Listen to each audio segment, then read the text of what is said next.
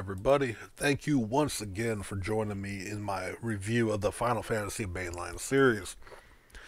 And today is a very special day, as not only are we reviewing my favorite Final Fantasy of the franchise, we are reviewing my favorite game of all time. This game changed my life back when it came out. Now, originally released for on in Japan for the Super Famicom, known as Final Fantasy VI, when it was brought over the same year for the Super Nintendo.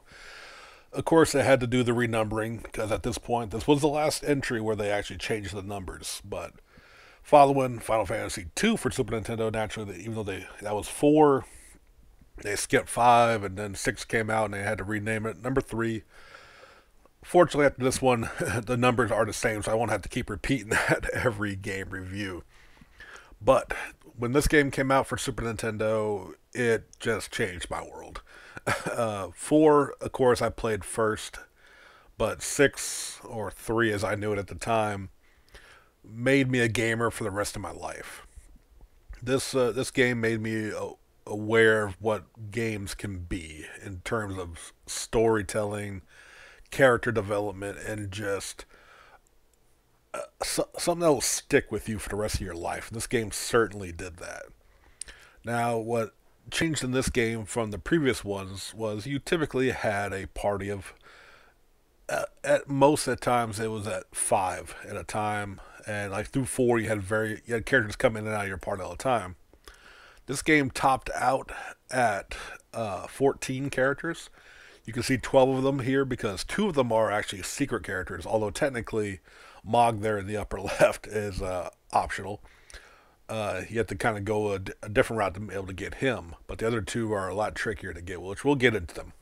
But as from you see on the screen up top, we have 12 characters, each of them being representing a class from the previous games, kind of like in 4, how each character had their specific abilities. This one went even further with really capturing all the different job class systems that Part 5 had for your four party team, but making them as each of their own individual characters. Mog the Moogle, there on the top left, being a dancer. We have uh, Locke the thief, or treasure hunter, as he preferred to be called, but he's a thief. He can steal things from Mog. Sorry to go back. Mog being the dancer, I mean he has a dance ability that he learns different dance steps depending on where he's fighting in a terrain, be it a, a cave, a river, the plains, a forest, all that kind of stuff. It's pretty cool. Next up is Celes, the magic knight.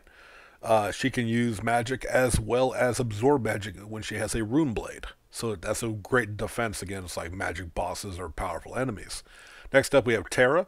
Uh, she is a half Esper, which uh, Espers in this game are the summons from the previous ones, but now they're given their own their own race, their own world, and uh, she can transform into an Esper form as well as use black magic. Then we have Sabin, the monk.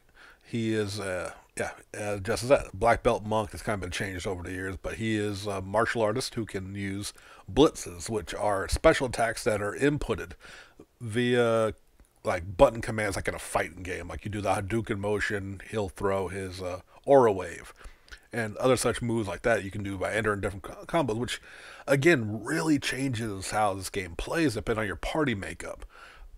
After him is Cyan there in the top right. He is a samurai, although they refer to him knight. He speaks in, in the English translation as very old timey medieval thou, thus, thine. Uh, but he is a samurai, and he uses Bushido, uh, which is a charge bar, which goes up to different levels, and the higher you let it charge, the uh, the stronger his attack will be. Then on the bottom left, we have Edgar, the king of Figaro, who is a machinist.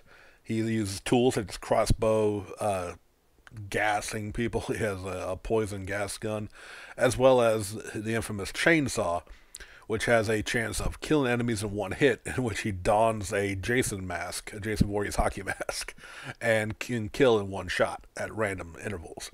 Next to him is Shadow the Ninja. He has the ability to uh, throw weapons, as well as have his, his uh, faithful dog Interceptor, who Chudo Zane can intercept attacks and actually block for him as well as counter at times where Interceptor will run out there and damage the enemy. Uh, following up in the trench coat is Setzer. He is an airship pilot as well as a gambler. He can roll dice and throw cards, and uh, his random his slots uh, special ability will give random effects. Uh, next up is Gau. He is um, basically the uh, a type of blue mage in a sense. Cause, uh, but not not sure. It's pretty. He's a he's a wild beast boy. Lived out in the plains. By leaping into enemies, uh, and then he'll leave your party. Then the next battle, he'll show up after you clear out the other enemies, and he'll learn different techniques where uh, of those enemies. Now, but yet, so it's kind of blue mage in a way, but it's also kind of berserker because most of them you'll lose control. He'll just keep attacking and doing what he does. So it's kind of unique in that way. Uh, next up is Relm. She is a painter. Uh, she um, can basically copy an enemy right for a one shot, and they can they will attack back for him. Uh, again, kind of blue mage, which is following this theme because finally there is Strago, her grandfather, Relm's grandfather, who is a straight up blue mage. He, if he can survive the attack of an enemy, he will have that spell at his use. Uh, from that, from there we have uh, some of this. Well slides are water, but we're going to keep rolling anyway. There are some more characters. We'll get into them once we get to the slides. But uh, the beauty of this game is how it's uh, you can make after you hit a certain point in the game, you can completely make your party up however you want. With very few times where you'll have to have certain characters for the story purpose, it makes it to where there is no real main character in a sense. Uh, arguably, uh, Terra, the green hair girl on top, uh, starts off as the main character, main focal point with her being the Esper and escaping the Empire. Locke, very much seen as like the hero as he helps her out. But then there's even a point where Celes, the Magic Knight, uh, the blonde lady up top, uh, kind of becomes a main character in another part of the in a later part of the game, which I'll get into because it's one of my favorite things that just really encompasses the game. But I, I, believe it's the uniqueness of this game that has made it to where this game has been re-released from everything from Game Boy Advance to the Virtual Console, PlayStation Network, even a terrible looking uh, phone port. This is uh, this yeah, this is uh, what you're looking at here. While like I don't mind like the portraits there, but I don't know. There's something about just the washed out sprites in there. But it is still six, and if this is your way to play it, I would still recommend going to get it in that way. Here's, uh, of course, Yoshitaka Amano did illustrations, and, and here you can actually see some of the other uh, characters as well. Uh, in the uh, middle here, actually, we have uh, Umaro, who is one of the secret characters. He is a, uh, a, a Yeti, a mountain Yeti. So he's basically just he can go berserk. So he's he is also the berserker class, and he can uh well he'll just start attacking and occasionally throw an ally at an enemy. Uh, the top middle there is Gogo, the mimic. Uh, at first, when you get him, uh, and again, these are secret characters. You got to go through quite a little bit to to access them. It's not very uh, apparent. Gogo has the mimic ability to where uh, he will repeat uh, the action of the person. I believe it's on top in the in the order, or is is that or is the last thing? The reason I don't really know is because I didn't use him when I first beat the game because I didn't really like having like how it seemed almost random what he was doing. Then you find out you go to his status screen and you can actually select what abilities he has in his menu. So he can literally have blitzes, uh, no, the tools like Edgar, steal, all kinds of stuff. So he he can really become an all around character, and it's pretty great. Uh, the main villain, at least, uh, he doesn't not at first, but he's definitely one of the early antagonists. Is Kefka?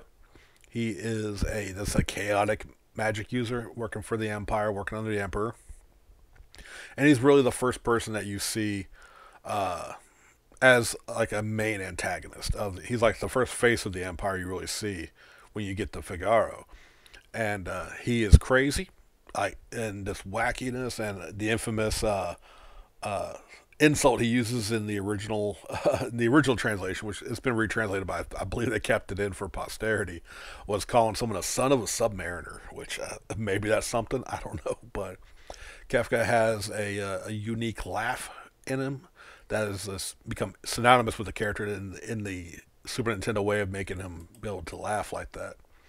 But uh, what you're seeing here is two maps. On the left, you have the world of light and the world of ruin.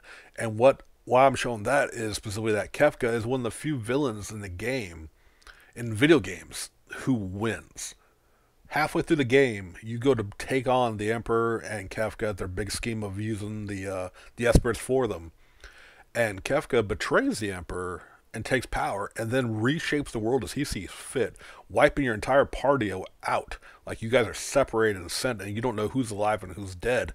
And without doing certain things, there's actually a character can be dead and never available in the game again. Kefka just eventually just goes on to just rule the world and becomes much like you see in the final battle with the this epic. Like, everyone loves One Winged Angel, but Kefka's theme is just just angelic and evil and truly great battle and just that amazing sprite work. And this game just has some of the best sprite work. In the, of course, being at the end of Super Nintendo, it's not hard to say, but good lord, you just look at it. It's this beautiful game. And throughout, you meet the different characters of Resistance, like Banon, and you, you know they'll come in and out, but you'll still have your maintain your your main four. A little bonus, being that this is on uh, to Kappa Productions and I Love My Kappa. I didn't even know this, of course, at the time because I wasn't aware. You can become an imp status in the game, and if you look at it, it's clearly it is a Kappa, and uh, I love it. I just had to make sure I pointed that out. And one of the most iconic moments in the game is the opera scene. It, it's a uh, it's it's a side not a side mission because it's part of the main uh, uh, storyline, but like in order to get uh, Setzer, they kind of have to go through and uh, uh, take part in the uh, the opera to uh, trap him in, lure him in, so he can uh, kidnap some people or kidnap Celes, who's disguised as a girl. But what still comes from this is, oops, a little early. Uh, but what comes from that is is one of the uh, that you actually get to participate in the opera, learn your lines, and it's just a great musical score uh, that you can hear that you actually see play out.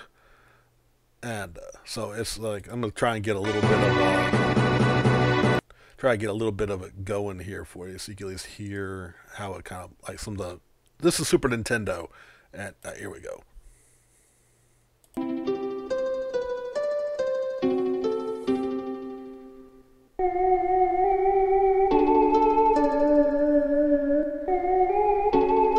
That represents uh, when she's speaking as best they could do for the Super Nintendo time.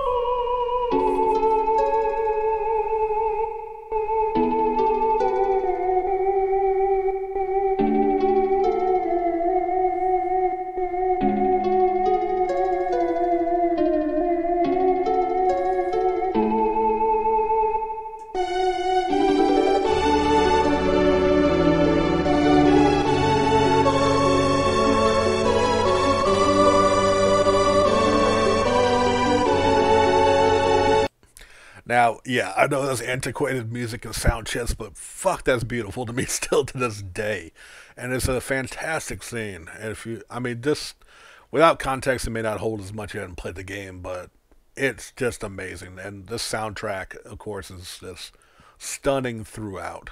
And there's so much epicness in the story of the different you deal with loss and rebellion war racism uh, not knowing oneself i mean to the point where there's even a there's a moment when uh, after Kefka wins and reshapes uh, the land, after going through like you know like uh, Celes especially in the World of Ruin kind of takes uh, centered stage to the point where she's uh, like alone. Like after Kefka destroys the world, Celes is more or less alone. She's with the Cid of the game, who is kind of a surrogate father for her.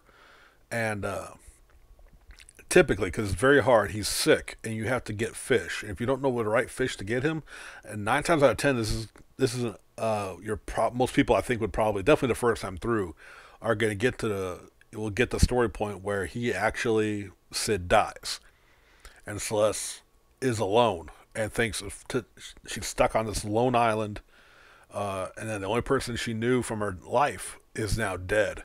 And to her, the best that she can figure she thinks that you know everyone else's. She goes to depression and goes to a cliff and jumps. So she uh, yeah she attempts suicide. She does survive, and then and you get a and you find out this uh this bird actually has a bandana that looks like Locke's, and it kind of gives her the courage to go on that someone out there is still there. And that's but I mean like for a game that tackles suicide, especially in the Super Nintendo era, I can't think of another game top of my head that really dealt with this. And the way it was written, and you just feel for this character, it's just a tragic and just kind of beautiful moment of just like, and the way they did it, it's just, it stayed with me forever, you know. And of course, uh, to lighten it up a little bit, we have the infamous meme you've probably at least heard of, like, I'm a suplex a train. Because at one point, when dealing with Cyan's storyline, who after he uh, lost his family uh, to Kefka poisoning their water, he lost his uh, son and wife to the poison. You end up in the ghost train seeing his family, and to get escape, you have to battle it. And if you use the Blitz Command Suplex, yes, you can suplex a train in Final Fantasy VI. Uh, but this game is I could I could go on and on about just how wonderful this game really is. It's like I said, it it has a share of fans, I'm sure, and other people who will love other Final Fantasies more than this one, and that's perfectly fine. I know the next one we'll be talking about is, you know, part seven, and that one's a huge one for a lot of people, and it's still held on. But for me, six is just the best Final Fantasy game, and for me, it's the best video game I've ever played. Now, and I I try to play through it at least once a year. Admittedly, I don't always manage to get through all of it, but it's one that I just hold to the highest esteem I would tell anybody to play it, even the horrible uh, cell phone version that you can get on like the Android or iOS store. Uh, it, yeah, I again, I, I could gush all day just get into intricacies of the story of war and like family and loss. Loss is a big part of this uh, storyline, and it's just one I I I would I would hope I'm hoping eventually that the Switch, which has all the PlayStation, the PlayStation Two games but they haven't done the Super Nintendo or Nintendo era. But out of all of them, I would love that they would put this one out in a collection in a not cell phone HD, but I'd be okay if they kind of updated updated the graphics a little bit for some people. But like this sprite work is just too beautiful to me. I don't think it needs to be changed. I would just love a port on the Switch, so maybe more people will be able to play it. But I think that's going to do it. This is definitely the longest video. Will probably be the longest video of this uh, series. But I appreciate y'all letting me just talk about my favorite game of all time. And, uh, you know, I look forward to doing the rest of the Final Fantasy series. Is it all downhill from here? Nah, no, but this is definitely the peak in my opinion. But thank y'all once again. If you like this video, please uh, like, comment, subscribe, and share. Share away. And if you like this game, comment down. Tell me what you thought. You know, when did you first play it?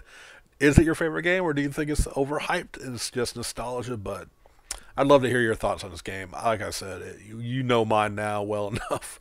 But uh, thank y'all for uh, tuning in, and uh, yeah, we'll catch y'all next time.